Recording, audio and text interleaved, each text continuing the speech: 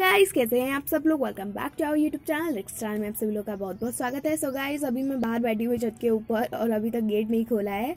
आज मैं कुछ खास लाने गई थी। मम्मी ने कुछ खास खरीद दिया था मुझे तो आपके साथ सोचा कि आपके साथ ये वीडियो को शेयर करूँ। सो so गाइज़ आज का जो खास टॉपिक है वो आपके साथ शेयर करूँगी। सो so गाइज़ हर चीज़ में तो टॉपिक ही आपके साथ शेयर करती हूँ। सो so, फ़िलहाल गाइज़ मैंने अभी तक गेट नहीं खोला है क्योंकि आपके साथ ये वीडियो बनाने के बाद ही मैं गेट खोलूँगी। ये भी देख सकते हैं, गेट नहीं खुला है और कल की हवा से ना तो हमारा ये पर्दा जो है वो गिर गया नीचे। सो so गाइस उस खास चीज़ को मिलाने के लिए और आपको वेट नहीं करवाती हुई तो चलिए मिलता है मेरी वो खास चीज़ से। क्या आपको प्लांट्स पसंद है?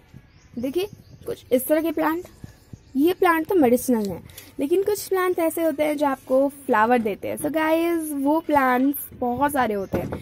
जैसे हो सकते हैं रोज इस तरह के प्लांट्स आप सभी लोगों ने देखे होंगे। सो so गाइस आज के वीडियो में वही प्लांट्स आपको मिलाना चाहती हूँ। आज मम्मी ने ये मेरे लिए खरीद दिया है और हमारे घर के बाहर एक ठेले में मतलब ये फ्लावर सब दे रहे थे।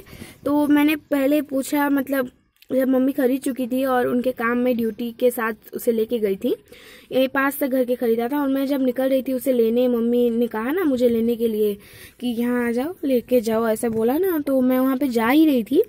ठीक, मैंने बाहर उसी ठेले वाले को देखा और पूछा कि शायद मम्मी ने यहाँ से लिया और पूछा उनसे तो उन्होंने यही जवाब दिया कि मम्मी यहाँ से लेके गई थी स्कूटी से।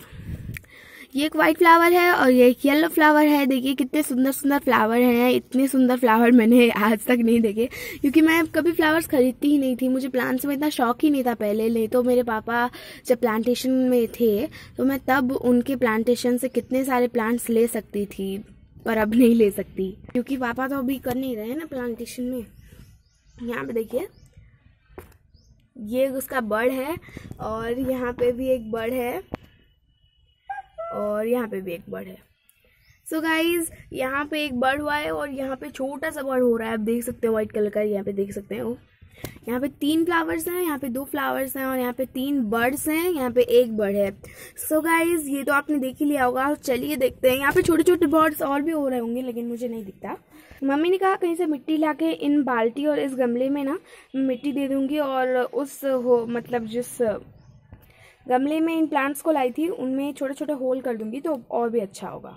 सो so गाइज़ ये हमारा आखिरी फाइनल पॉइंट है, यहाँ पे देख सकते हैं। ये है हमारा रोज का बर्ड जो अभी हो रहा है। सो गाइज़ ये हो जाए जल्दी से, बहुत बड़ा सा फ्लावर बने, क्योंकि लेट हो रहा है बर्ड से फ्लावर होने में तो बड़ा सा फ्लावर होने वाला है शायद।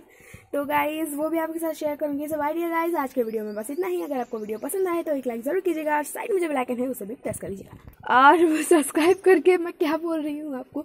सब्सक्राइब करके साइड में जो बेलाइकन है, उस पर प्रेस कर लीजिएगा।